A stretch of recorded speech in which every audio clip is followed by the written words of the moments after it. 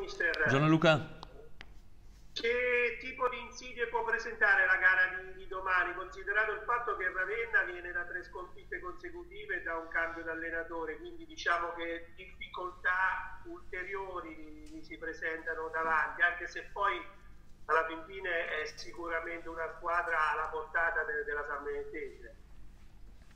Sì, eh, situazioni particolari che dopo sempre un cambio di allenatore perché appunto ci sono sempre delle incognite magari per quel che riguarda eh, il modo di affrontare la partita, il modulo eccetera, però abbiamo fatto una buona settimana e sono contento de, del lavoro che abbiamo fatto e cerchiamo di migliorare le cose che non vanno soprattutto nostre, quindi eh, poi sappiamo che comunque Ravenna ha dei giocatori importanti, quindi non è che non hanno fatto squadra perché Mokulu, Martignago e De Grazia li ho allenati, quindi so il valore di questi giocatori, sono dei giocatori importanti della categoria, hanno fatto anche categoria superiore, quindi sicuramente non hanno una squadra sprovveduti.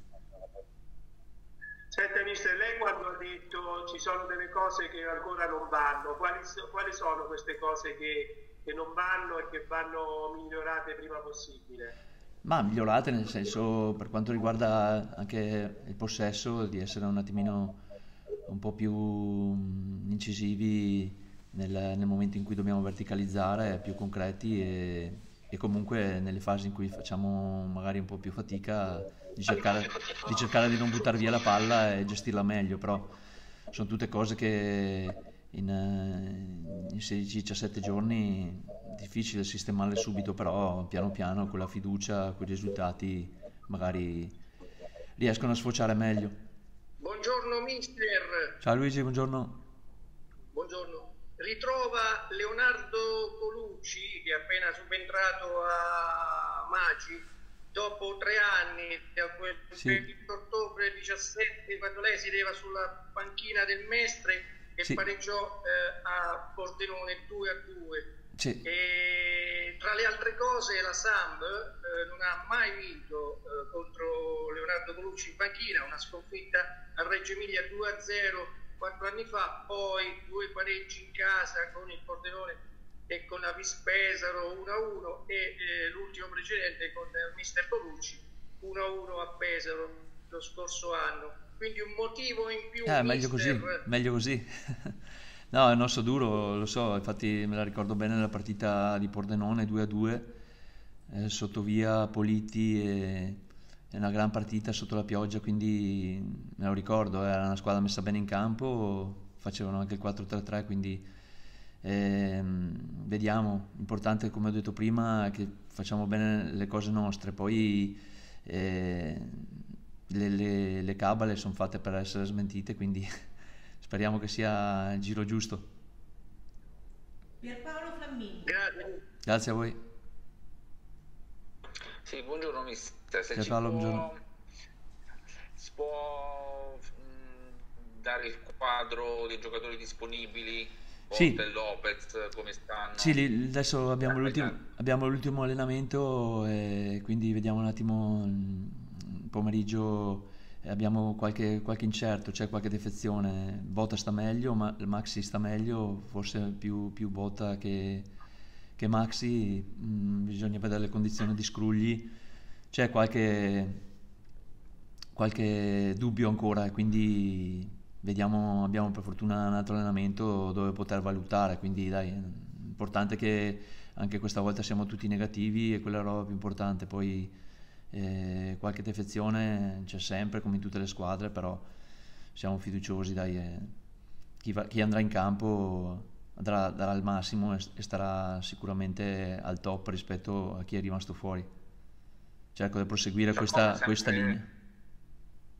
Scusi? No, Chacon sempre disponibile? O... Chacon sta meglio, sta meglio. Mm, Vedrà pomeriggio. Abbastanza meglio, sì sì, poi vediamo il pomeriggio e però dai, eh, è importante che andiamo con la testa giusta, eh, al di là dei, dei singoli, proseguo sempre con col discorso di far giocare chi è in, in migliori e in perfette condizioni, poi se sarà il caso di, di rischiare qualcuno lo vedremo con lo staff medico. Michele Natalini. Anche perché, anche perché appunto è in previsione poi domenica, mercoledì, domenica e, e preferirei avere tutta, tutta la rosa oppure tutta la rosa, l'attacco soprattutto con, con, più numeri rispetto a, alla domenica scorsa dove eravamo veramente centellinati. Buongiorno. Buongiorno. Le volevo, le volevo chiedere eh, se eh, è orientato a fermare il modulo di sabato sera eh, oppure se eh, eventuale ritorno al 352 dipende anche dalle condizioni di, di D'Angelo. Sì, sì, dipende un po' dalle condizioni di, di, qualche elemento per non avere appunto poi problemi di cambi, però eh, diciamo che ha funzionato un po' meglio eh, il modulo di sabato, quindi stiamo progredendo in tutte e due le direzioni. L'importante è che continuino a mettere dentro movimenti, rapidità, velocità nel, nell'eseguire le azioni veloci. E poi il modulo lo vedremo anche magari in corsa, però l'importante è che assorbano bene i carichi di lavoro e, che abbiamo fatto e, e che riescano a, a, velocizzare, riusciamo a velocizzare la manovra, però ripeto, eh, abbiamo fatto sporadicamente contro, contro la Vispesaro, contro il Perugia, conto di essere di, di, avere queste cose un po' più costantemente durante la partita, è quello un po' l'obiettivo, cercare di, di essere più, più, intensi possibili, sia in fase di possesso che in fase di non possesso. Grazie. Grazie a te. Se effettivamente questo discorso del modulo viene adottato a seconda di quelle che sono le caratteristiche della squadra avversaria e quindi no, se no. domani il fatto de, di affrontare Ravenna potrebbe essere come dire equiparato a quello che invece è avvenuto, è, è avvenuto sabato scorso con la Dispesaro. Sì, non è rispetto all'avversario, è proprio un conteggio di giocatori. Domenica, sabato scorso ho rischiato perché comunque anche nel secondo tempo abbiamo mantenuto il 3-4-3 sul 2-0 che potevo benissimo chiudermi, però non ho voluto anche per dare un segnale di coraggio per vedere fino a che punto, a che punto la squadra aveva coraggio di, di, di continuare a, ad affrontare gli avversari uno contro uno, comunque in vantaggio, però ho visto, ho visto una, una, cosa positiva, delle cose positive e, e cerco di infondere questo. È un modulo abbastanza pregiudicato, però che dà i suoi frutti, però va fatto bene. Adesso essere intensi 90 minuti è dura, dopo dopo poco più di due settimane, però siamo sulla buona strada e conto di, di andare avanti così.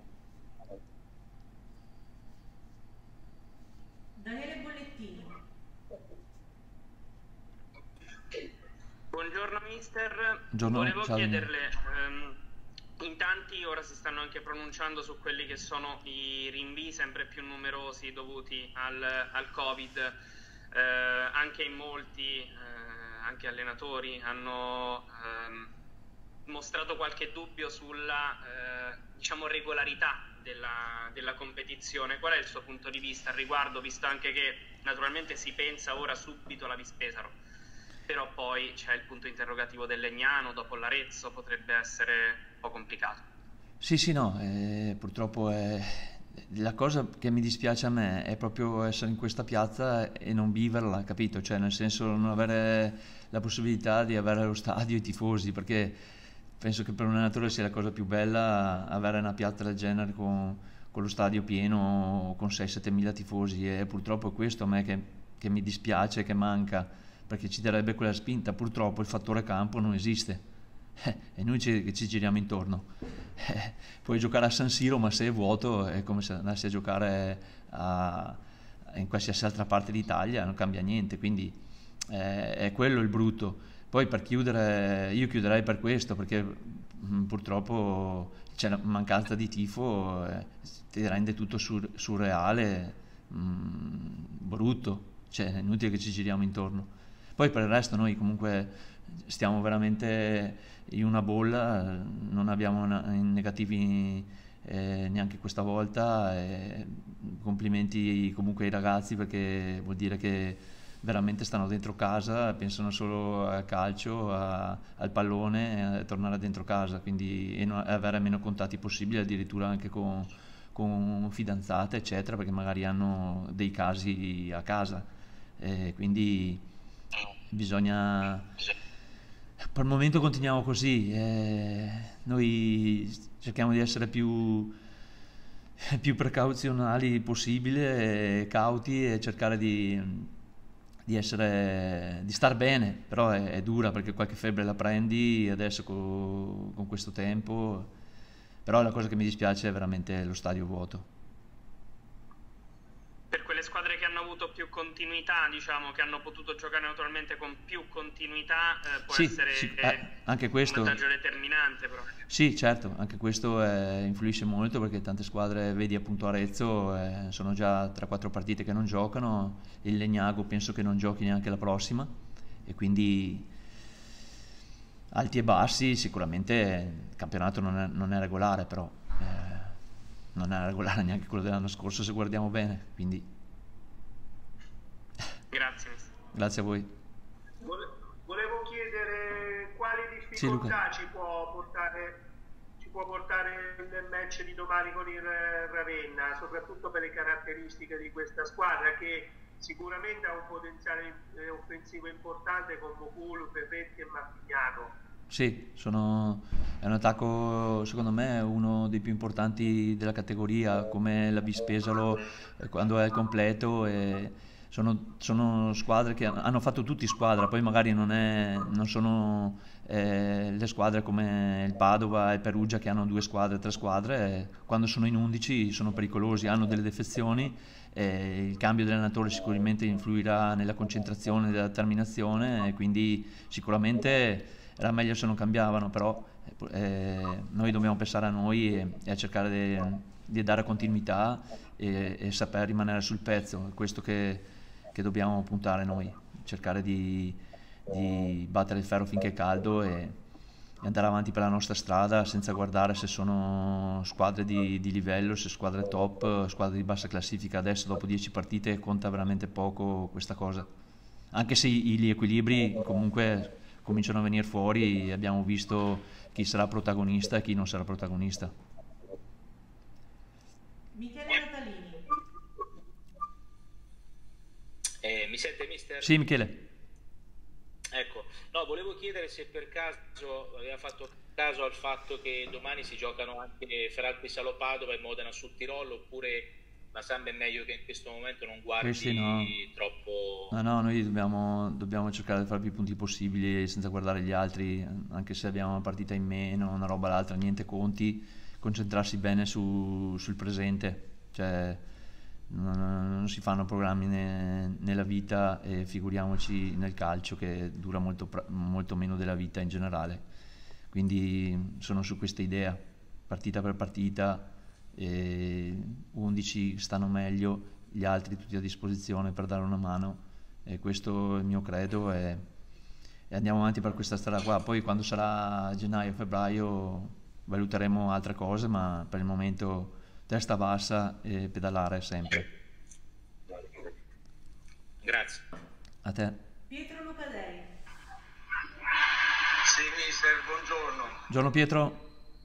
Lei che ha il polso della situazione, appunto, eh, i giocatori hanno acquisito la mentalità che comunque possono giocarselo con chiunque. Io vi faccio sempre la stessa domanda ma sì. Perché mm. noi non assistere agli allenamenti, non abbiamo certo. diciamo, polso della situazione, sono convinti della loro forza, al di là delle assenze, al di là diciamo... Sì, no? esatto, sto, no, sto, stanno acquisendo questa intensità che chiedo e, e, si rendono conto che se riescono a stare compatti e uniti possono far male a parecchie squadre, l'abbiamo visto soltanto dopo una settimana insieme col Perugia, quindi e, e col suo tiro dopo tre giorni, quattro, quindi eh, consapevoli di questo, però eh, come hai detto tu, eh, noi ce la possiamo giocare con tutti, ma anche gli altri se la possono giocare con tutti, anche se per il momento hanno una classifica deficitaria. E quindi massima sempre. Sempre, sempre, in qualsiasi momento e, e bisogna stare pronti. Qualsiasi cosa, che sia positiva, che sia neg- negativa, bisogna mai abbassare la guardia e cercare di tenere la testa attiva e dentro la partita, perché la partita dura 100 minuti, 95 minuti e può succedere sempre di tutto. Hanno perso una Coppa dei Campioni nei tempi supplementari a, a Monaco quella volta, il Bayern, quindi la partita è è sempre imprevedibile, non bisogna mai mollare niente, bisogna sperare sempre nell'errore dell'avversario, anche se magari dai tutto per scontato, mai dare per scontato niente. Questo è il mio credo.